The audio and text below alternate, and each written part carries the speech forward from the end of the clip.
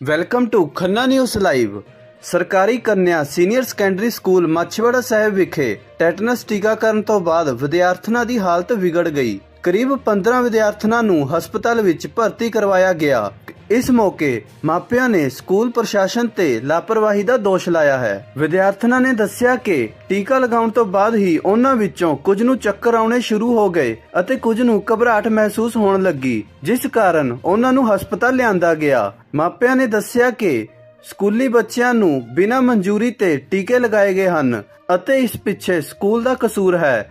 ਜੇਕਰ ਕਿਸੇ ਦੀ ਜਾਨ ਚਲੀ ਜਾਂਦੀ ਤਾਂ ਇਸ ਦਾ ਜ਼ਿੰਮੇਵਾਰ ਕੌਣ ਹੁੰਦਾ? ਦੂਜੇ ਪਾਸੇ, ਡਾਕਟਰ ਰਿਸ਼ਵ ਦੱਤ ਨੇ ਦੱਸਿਆ ਕਿ ਟੀਕਾਕਰਨ ਹਰ ਹਫ਼ਤੇ ਕੀਤਾ ਜਾਂਦਾ ਹੈ।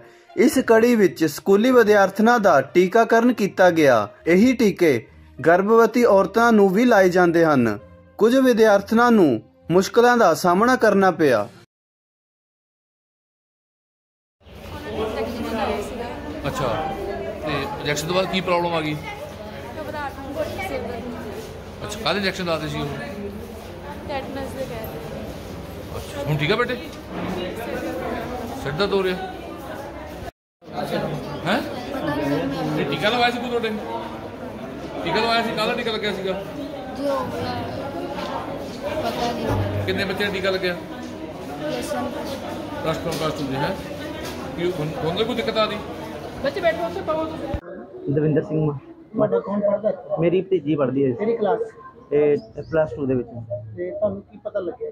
ਪਤਾ ਲੱਗਿਆ ਵੀ ਇੰਜੈਕਸ਼ਨ ਲੱਗੇ ਸਕੂਲ ਦੇ ਵਿੱਚੋਂ ਤੇ ਗੁੜੀਆ ਬੇਹੋਸ਼ ਹੋ ਗਈ ਆ ਮਤਲਬ ਕਿ ਜੇ ਕੋਈ ਇੰਜੈਕਸ਼ਨ ਕੋਈ ਲਾਉਂਦੇ ਆ ਕਮ ਸੇ ਕਮ ਪੇਰੈਂਟਸ ਦੀ ਤਾਂ ਤੁਸੀਂ ਪਰਮਿਸ਼ਨ ਲੈਣੀ ਬਣਦੀ ਹੈ ਨਾ ਸਕੂਲ ਸਕੂਲ ਦੀ। ਡਾਕਟਰ ਆਇਆ ਨੂੰ ਅਗਰ ਕੋਈ ਪ੍ਰੋਬਲਮ ਆਉਂਦੀ ਆ ਤਾਂ ਸਕੂਲ ਹੈਗਾ ਇਹਦੇ ਵਿੱਚ। ਤੁਸੀਂ ਬੱਚੇ ਨੂੰ ਮਿਲੇ ਹੋ? ਮੈਂ ਬੱਚੇ ਦੀ ਹਾਲਤ ਖਰਾਬ ਆ ਜੀ ਦੇਖਣਾ ਤਾਂ ਬਣਦੀ। ਮੈਂ ਉਹਦੇ ਪੇਟ ਦੇ ਵਿੱਚ ਬਹੁਤ ਜਾਣੀ ਕਿ ਦਰਦ ਹੋ ਰਿਹਾ ਜੀ ਤੇ ਉਹ ਬਹੁਤ ਜਿਹਾ ਬੱਚਾ ਕਰ ਰਿਹਾ ਜੀ। ਇਸ ਸੰਬੰਧੀ ਸਕੂਲ ਸਟਾਫ ਨੇ ਕੁਝ ਦੱਸਿਆ ਤੁਹਾਨੂੰ? ਸਕੂਲ ਤੇ ਉਹ ਸਾ- ਪੁੱਛਿਆ ਜੀ ਉਹ ਕਹਿੰਦੇ ਅਸੀਂ ਅੱਗੇ ਵੀ ਲੱਗਦੇ ਆ ਵੀ ਅੱਗੇ ਲੱਗਦੇ ਕਿਉਂਕਿ ਅਹ, ਬੱਚਿਆਂ ਦੀ ਤਾਂ ਤੁਸੀਂ ਮਾਪੇ ਦੀ ਤਾਂ ਲਓ ਪਰਮਿਸ਼ਨ ਵੀ ਲਵਾਉਣੇ ਆ ਜਾਂ ਨਹੀਂ ਲਵਾਉਣੇ ਆ ਕਹਿੰਦੇ ਉਹ ਬੱਚਿਆਂ ਦੀ ਉਹ ਹੋ ਸਕਦੀ ਹੈ ਹਸਪੀਟਲ ਦਾ ਸਟਾਫ ਕੀ ਕਹਿ ਰਿਹਾ?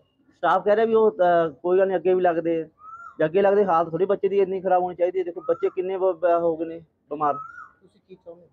ਇਹ ਚਾਹੁੰਦੇ ਵੀ ਦੇ- ਕਮ ਸੇ ਕਮ ਦੇਖੋ ਵੀ ਬੱਚੇ ਨੂੰ ਕੀ ਪ੍ਰੋਬਲਮ ਆਈ ਹੈ ਜੀ। ਡਾਕਟਰ ਦੀ ਸਾਨੂੰ ਦੱਸਣ ਵੀ ਕੀ ਪ੍ਰੋਬਲਮ ਹੈ ਜੀ ਇੰਜੈਕਸ਼ਨ ਆਈ ਆ ਜਾਂ ਕੋਈ ਵੈਸੇ ਕੋਈ ਪ੍ਰੋਬਲਮ ਆਈ ਹੈ ਜੀ। ਦੇਖੋ ਮੇਰਾ ਨਾਮ ਡਾਕਟਰ ਰਿਸ਼ਵ ਦੱਤ ਹੈ। ਮੈਂ ਇੱਥੇ ਬੱਚਿਆਂ ਦਾ ਸਪੈਸ਼ਲਿਸਟ ਹਾਂ। ਇਹ ਡਾਕਟਰ ਸਾਹਿਬ ਡਾਕਟਰ ਅਰਸ਼ ਨੇ। ਇਹ ਹੁਣ ਅ, ਇਹ ਇਹ ਵੀ ਇੱਥੇ ਹੀ ਪੋਸਟਡ ਨੇ। ਅੱਜ ਮਾਰਨਿੰਗ ਦੇ ਵਿੱਚ ਜਿਵੇਂ ਆਪਾਂ ਰੂਟੀਨਲੀ ਵੈਕਸੀਨੇਟ ਕਰਦੇ ਹਾਂ ਬੱਚਿਆਂ ਨੂੰ ਐਵਰੀ ਵੀਕ ਵੈਕਸੀਨੇਸ਼ਨ ਡਰਾਈਵ ਚੱਲਦੀ ਹੈ। ਉਹ ਵੈਕਸੀਨੇਸ਼ਨ ਡਰਾਈਵ ਨੂੰ ਲੈ ਕੇ ਕੁਝ ਜਿਹੜੇ ਹੈਲਥ ਵਰਕਰਸ ਹੈ ਸਕੂਲ ਹੈਲਥ ਕਰਨ ਗਏ ਸੀਗੇ। ਉਹਦੇ ਵੈਕਸੀਨ ਉਹਦੇ ਵਿੱਚ ਕਿਹੜੀ ਲੱਗ ਰਹੀ ਸੀ ਜਿਹੜੀ ਟੈਟਨਸ ਦੀ ਲੱਗਦੀ ਹੈ। ਉਹ ਵੀਕਲੀ ਸਾਡਾ ਹੁੰਦਾ ਹੈ। ਇਸ ਸੇਮ ਵੈਕਸੀਨ ਦੇ ਵਿੱਚੋਂ ਅੱਜ ਅਸੀਂ ਤਕਰੀਬਨ ਤਕਰੀਬਨ 200 ਬੱਚਿਆਂ ਨੂੰ ਟੀਕਾ ਲਗਾਇਆ। ਤੇ ਉਹਦੇ ਨਾਲ ਨਾਲ ਕੁਝ ਜਿਹੜੀਆਂ ਪ੍ਰੈਗਨੈਂਟ ਫੀਮੇਲਸ ਹੈ ਉਹਨਾਂ ਨੂੰ ਵੀ ਟੀਕਾ ਲਾਇਆ ਨਾਲ ਇਹੀ ਸੇਮ ਬੈਚ ਦੇ ਵਿੱਚੋਂ। ਉਹਦੇ ਵਿੱਚੋਂ ਕੁਝ 9-10 ਲੜਕੀਆਂ ਜਿਹੜੀਆਂ ਹੈਗੀਆਂ ਉਹ ਹਸਪੀਟਲ ਆਈਆਂ ਨੇ। ਤੇ ਉਹ ਕਹਿ ਰਹੇ ਨੇ ਕਿ ਸਾਨੂੰ ਚੱਕਰ ਆ ਰਹੇ ਹੈ ਕਿ ਚੱਕਰ ਆਉਣ ਤੋਂ ਬਾਅਦ ਸਾਨੂੰ ਥੋੜੀ ਜੀ ਵੀਕਨੈਸ ਫੀਲ ਹੋ ਰਹੀ ਹੈ। ਹੁਣ ਮੈਜੋਰਿਟੀ ਆਫ ਦਾ ਕੇਸਿਸ ਦੇ ਵਿੱਚ ਇਹ ਜਿਹੇ ਮਾਈਨਰ ਸਾਈਡ ਇਫੈਕਟ ਵੈਕਸੀਨੇਸ਼ਨ ਨਾਲ ਹੋ ਸਕਦੇ ਆ। ਇਹ ਸਾਰੀ ਗਰਲ ਸਕੂਲ ਦੀਆਂ ਲੜਕੀਆਂ ਨੇ ਜਿਨ੍ਹਾਂ ਨੂੰ ਇਹ ਜਿਹਾ ਹੋਇਆ। ਜਦੋਂ ਉਹ ਇੱਥੇ ਆਏ ਨੇ ਤੇ ਵਾਈਟਲੀ ਸਾਰੇ ਲੜਕੀਆਂ ਸਟੇਬਲ ਨੇ, ਪਰ ਕੁਝ 4 7-8 ਲੜਕੀਆਂ ਨੂੰ ਅਸੀਂ ਹਜੇ ਅੰਡਰ ਆਬਜ਼ਰਵੇਸ਼ਨ ਰੱਖਿਆ ਹੋਇਆ। ਉਹਨਾਂ ਨੂੰ ਅਸੀਂ ਵਾਚ ਕਰ ਰਹੇ ਹਾਂ। ਤੇ ਇਹਨੂੰ ਹੁਣ ਜਿਹੜਾ ਸਾਡਾ ਅੱਗੇ ਦਾ ਕਾਰਵਾਈ ਇਹੀ ਹੈ ਕਿ ਜਿਹੜਾ ਇਹਦਾ ਬੈਚ ਹੈ ਉਹਨੂੰ ਅਸੀਂ ਇੱਕ ਵਾਰੀ ਅੱਗੇ ਰਿਪੋਰਟ ਕਰਾਂਗੇ ਤਾਂ ਕਿ ਜਿਹੜੀ ਅੱਗੇ ਦੀ ਕਾਰਵਾਈ ਹੈ ਉਹ ਹੋ ਸਕੇ। ਬੱਚਿਆਂ ਦੀ ਉਮਰ ਕਿੰਨੀ ਕੁ ਹੈ ਜੀ ਇਹਨਾਂ ਦੀ? ਇਹ ਅਡੋਲਸੈਂਟ ਲੜਕੀਆਂ ਨੇ ਹਨਾ? ਅਡੋਲਸੈਂਟ ਵੈਕਸੀਨ ਲੱਗਦੀ ਹੈ ਅਡੋਲਸੈਂਟ ਕੀ ਰੀਜ਼ਨ ਹੋ ਸਕਦਾ ਹੈ ਤਾਂ ਬੱਚੇ ਨੂੰ ਘਬਰਾਹਟ ਕਿਉਂ ਹੋਈ ਦੇਖੋ ਰੀਜ਼ਨ ਕਾਫੀ ਹੋ ਸਕਦੇ ਆ ਬਟ ਸਾਨੂੰ ਨਾਰਮਲ ਐਦਾਂ ਲੱਗਦਾ ਕਿ ਜਿਵੇਂ ਟੀਕਾ ਲਗਾਉਣ ਤੋਂ ਬਾਅਦ ਮਾਈਨਰ ਚੱਕਰ ਆਣਾ ਜਾਂ ਦਰਦ ਹੋਣਾ ਇਹ ਨਾਰਮਲ ਕਈ ਵਾਰੀ ਹੋ ਜਾਂਦਾ ਹੈ। ਤੇ ਸਾਨੂੰ ਉਹ ਮਾਈਨਰ ਇੱਕ ਹੁੰਦਾ ਮਾਈਨਰ ਸਾਈਡ ਇਫੈਕਟ ਇੱਕ ਹੁੰਦਾ ਮੇਜਰ ਸਾਈਡ ਇਫੈਕਟ ਸਾਨੂੰ ਮਾਈਨਰ ਸਾਈਡ ਇਫੈਕਟ ਲੱਗ ਰਿਹਾ ਕਿ ਉਹ ਮਾਈ ਟੀਕਾ ਲਗਾਉਣ ਤੋਂ ਬਾਅਦ ਹੋ ਗਿਆ। ਕੋਈ ਖਤਰੇ ਦੀ ਗੱਲ ਨਹੀਂ ਕਿਸੇ ਬੱਚੇ ਸਾਰੇ ਨਹੀਂ ਨਹੀਂ ਐਦਾਂ ਕੋਈ ਨਹੀਂ ਬਿਲਕੁਲ ਬੱਚੇ ਬਿਲਕੁਲ ਠੀਕ ਨੇ ਤੇ ਵਾਈਟਲੀ ਵੀ ਬਿਲਕੁਲ ਠੀਕ ਨੇ। ਬੱਚੇ ਕਿਹੜੇ ਸਕੂਲ ਦੇ ਸੀ ਜੀ? ਇਹ ਜਿਹੜਾ ਆਪਣਾ ਆਈ ਥਿੰਕ ਸਰਕਾਰੀ ਸਕੂਲ ਦੇ ਮਾਛੀਵਾੜਾ। ਦੇ ਜਿਹੜੀ ਗਰਲ ਸਕੂਲ ਹੈ। ਹਾਂ। ਤੇ ਪੇਰੈਂਟਸ ਦੀ ਮਨਜ਼ੂਰੀ ਲੈਣੀ ਜ਼ਰੂਰੀ ਹੁੰਦੀ ਹੈ ਜੇ ਕੋਈ ਵੈਕਸੀਨੇਸ਼ਨ ਹੋਣੀ ਚਾਹੀਦੀ ਪੇਰੈਂਟਸ ਦੀ ਮਨਜ਼ੂਰੀ ਲੈਂਦੇ ਆ ਆਈ ਥਿੰਕ ਸਕੂਲ ਵਾਲੇ ਦੱਸਦੇ ਆ। ਪੇਰੈਂਟਸ ਨੂੰ ਕਿ ਵੈਕਸੀਨੇਸ਼ਨ ਡਰਾਈਵ ਹੈਗੀ ਆ। ਕੁਝ ਪੇਰੈਂਟਸ ਰੋਕ ਲਗਾ ਰਹੇ ਸੀ ਕਿ ਸਾਡੀ ਮਨਜ਼ੂਰੀ ਨਹੀਂ ਲਈ ਨਹੀਂ, ਦੇਖੋ, ਇਹ ਵੈਕਸੀਨ ਮੈਂ ਜਿਵੇਂ ਤੁਹਾਨੂੰ ਦੱਸਿਆ ਹੀ ਹੈ ਕਿ ਇਹ ਵੈਕਸੀਨ ਆਪਾਂ ਰੂਟੀਨਲੀ ਗਵਰਨਮੈਂਟ ਆਫ ਇੰਡੀਆ ਕਰਦੀ ਹੈ। ਠੀਕ ਹੈ ਨਾ? ਇਹ ਫ੍ਰੀ ਆਫ ਕਾਸਟ ਗਵਰਨਮੈਂਟ ਦਿੰਦੀ ਹੈ ਸਾਨੂੰ। ਤੇ ਚਾਹੀਦਾ ਵੀ ਇਹੀ ਹੈ ਕਿ ਜਿੰਨੀ ਵੱਧ ਤੋਂ ਵੱਧ ਕਵਰੇਜ ਹੋ ਸਕੇ ਉਨੀ ਆਪਾਂ ਕਰੀਏ।